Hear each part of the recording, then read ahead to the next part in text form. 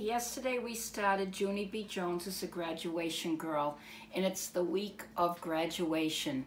We're on chapter two, rhymes. I sat at my table very nice. Mrs. passed out colored paper for our invitations. Also, she passed out curly ribbon and lace and paste and bottles of sparkly glitter.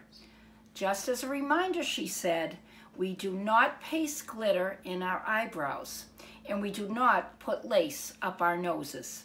And above all, we do not glue curly ribbon to our heads and pretend that it's long hair. She looked and looked at me. I squirmed in my seat a little bit, because that woman has a memory like a hawk, I tell you. Finally, Mrs. went to the board and she picked up her chalk. On the inside of our cards, we're going to write a poem about graduation. Does anyone have any ideas for the first line?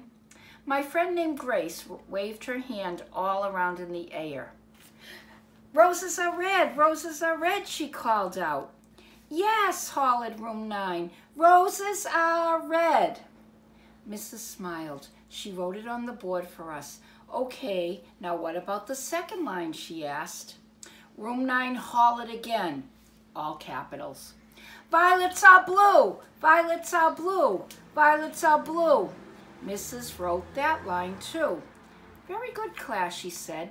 Now who can think of the third line? Maybe we should try to mention something about graduation in this one. Does anyone have any ideas?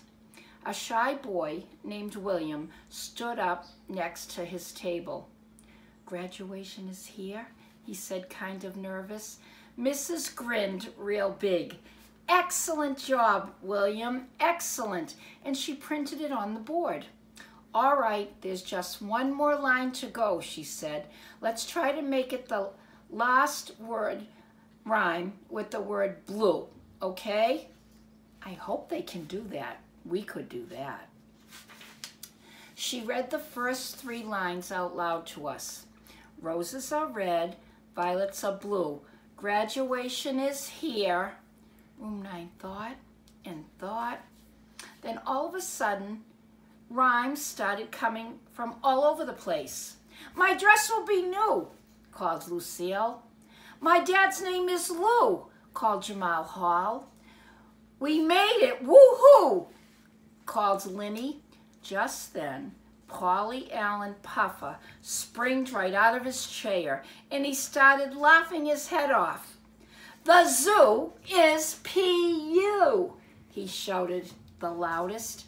Then all of room nine laughed our heads off because PU is the silliest rhyme we ever heard of. Mrs. clapped her hands together. Boys and girls, that's enough, she said, grouchy. She hurried to Paulie Allen Puffer's table and she put him back in his seat.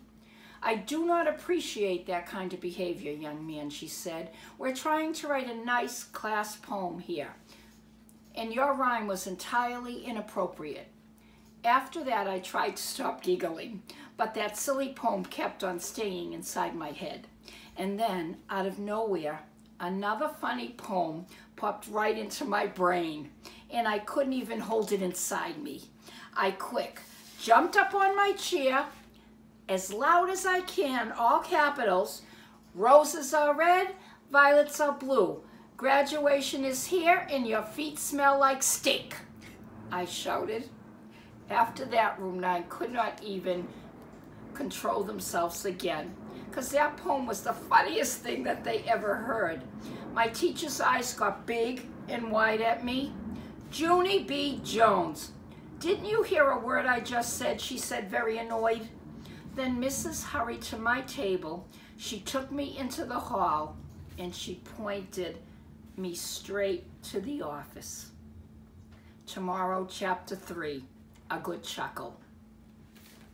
See you tomorrow.